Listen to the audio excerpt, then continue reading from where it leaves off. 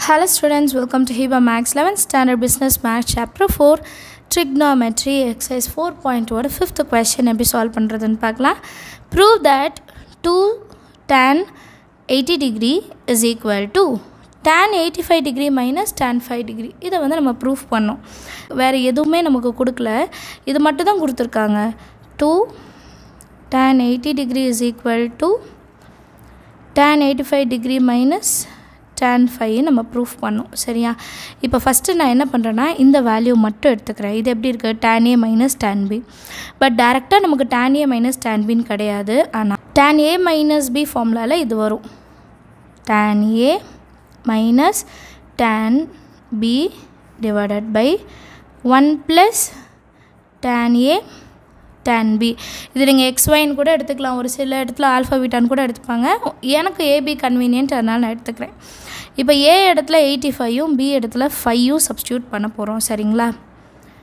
Tan எழுதிக்கிறீங்களா? A is equal to eighty five degree B is equal to five degree eighty five degree minus five degree is equal to tan 85 degree minus tan 5 degree divided by 1 plus tan 85 degree into tan 5 degree இப்போ நமக்கு value என்னன்னு பாருங்கள் இதுதான் value அப்போ இந்த டினாமினேட்டரை இந்த பக்கம் கொண்டு போயிடலாமா one plus tan 85 degree tan 5 degree into tan 85 degree minus 5 degree which is equal to இது நம்ம கொஷினில் கேட்டது tan eighty five degree minus tan five degree இப்போ இதை தான் நான் சால்வ் பண்ணணும்.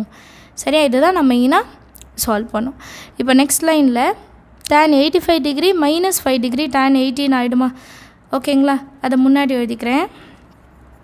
டேன் எயிட்டி டிகிரி அடுத்தது one plus tan eighty five degree இந்த டேன் ஃபைவ் டிகிரியை நான் எப்படி மாற்றி எழுதுகிறேன்னா tan 90 டிகிரி இங்கே எயிட்டி ஃபைவ் இருக்கா? So minus eighty five understand ஆகுதா நைன்ட்டிலேருந்து எயிட்டி ஃபைவ் மைனஸ் பண்ணால் ஃபைவ் வந்துடும்.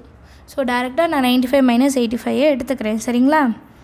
Which is equal to tan eighty five degree minus tan five degree அந்த கார்னரில் இருக்கனால சின்னதாக எழுதுகிறேன் நீங்கள் கொஷினில் இருக்கிறது தான் ஸோ அடுத்த லைனில் tan eighty degree into one plus tan eighty five degree into tan 90 minus theta cot theta cot 85 degree that is equal to tan 85 degree minus tan 5 degree அடுத்த லைனில் இந்த காட்டை ஒன் பை டேன்னு எழுதிப்பேன் ஸோ நெக்ஸ்ட்டு வந்து tan eighty degree into one plus tan eighty five அந்த cot eighty five degree என்ன சொன்னேன் ஒன் பை டென்னு எழுதிக்க போகிறேன்னு சொன்னேன் இல்லையா? அதை தான் எழுதியிருக்கேன்.